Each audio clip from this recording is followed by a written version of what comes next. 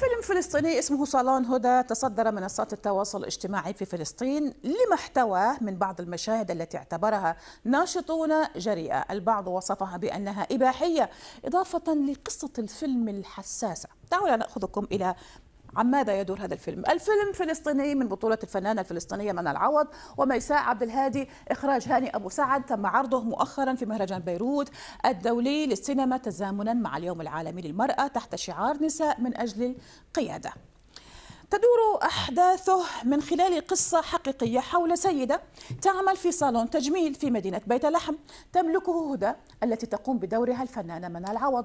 تعاني من أزمات شخصية ترتبط بظروف عائلية تعمل لصالح إسرائيل بحسب قصة الفيلم.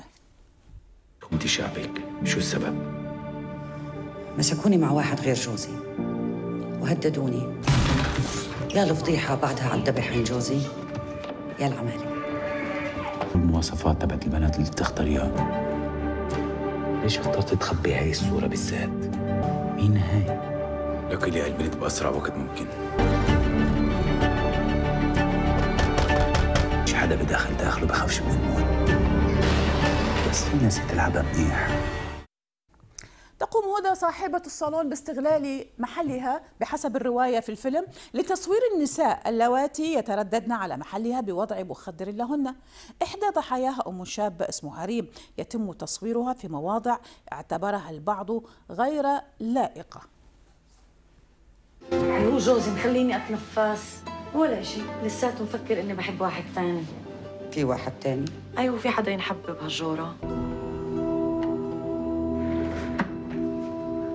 حاسة راسي بده يتفجر هدول بنات ما لهمش ذنب أنا المذنبة فيهم. وأنا حاضرة للموت. أي إشي بدك تعرفه مني قبل ما أموت رح أجاوبك عليه. بس كون متأكد أسماء ما فيش. مين مين أنتو؟ مخابرات. الاحتلال؟ بدنا تشتغلي عندي الذنب واللي كان عندي اسم الفيلم تصدر محركات البحث في مواقع التواصل كالأكثر بحثا في الساعات الأخيرة. قيل بسبب احتوائه على مشاهد جريئة. أثارت المشاهد في ذلك الفيلم الحميمية جدلا بين الفلسطينيين على وسائل التواصل سكينة المشيخص ماذا تكتب في هذا السياق؟ تكتب سكينة. انتهيت من مشاهدة فيلم صالون هدى أول فيلم إباحي عربي بحسب رأيها. مشاهد عري مقززة قصة وحوارات هزيلة جدا وغير منطقية. الميسري هل له نفس الرؤية؟ يقول لو ما كان ما ذكروا كلمة إباحي كان أحسن. وما حدا داري عن الفيلم لأن الشباب بالوطن العربي بيروحون يشوفوه عشان كلمة إباحي يقول ذلك باسما. أما هنا سعد بن عبد الرحمن. فيلم صالون هدى لازم نعترف جميعا إنه واقعي ولكن الطريقة التي يتم الترويج له فيها غير أخلاقية. فكان بإمكان مخرج الفيلم أن لا يظهر الإباحية في الفيلم ويوصل الرسالة ولكن الهدف واضح هو انفتاح الدراما الفلسطينية كما يحدث في الدول المجاورة الفيلم فلسطيني لكنه غير أخلاقي بحسب رأيه. ماذا تكتب صفية العمر؟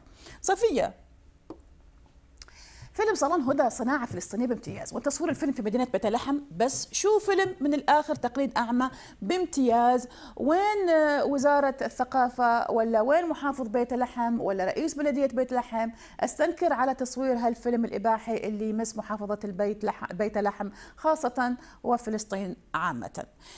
لحد دخولنا في الاستوديو لم يرد أي تعليق من قبل المخرج الفلسطيني هاني أبو سعد حول جدل الدائر على فيلمه وبخصوص هذا الجدل أصدرت وزارة الثقافة الفلسطينية بيانا كتبت فيه لا علاقة لوزارة الثقافة بأي شكل من الأشكال بفيلم صالون هدى.